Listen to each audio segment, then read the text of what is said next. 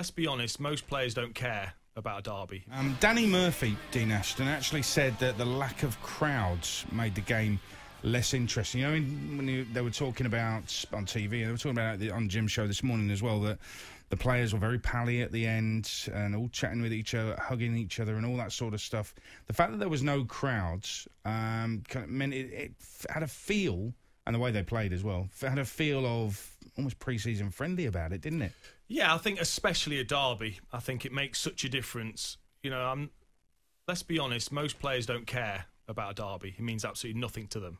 But they know it means something to to the supporters, and they will certainly be held accountable on the day and for the next six months uh, before it, they play it, them. So, well, just hold, hold on, hold on.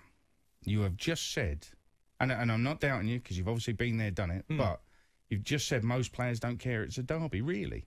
Well, not if they don't support the club they absolutely play for, they don't understand that particular derby, do they? Surely they're it's a game. It, for most players, it's just another game, but they understand what it means to the supporters. Okay. And to the to the club to win that for bragging rights for them. They understand that, but to them personally, I mean, I'm talking from experience from being in changing rooms and seeing what players are like when derbies are being played. Yeah. And it's it's like another game for most. You might get the odd player um, that has supported the club and they're much more fired up, but in the in the main, it's another game for most players.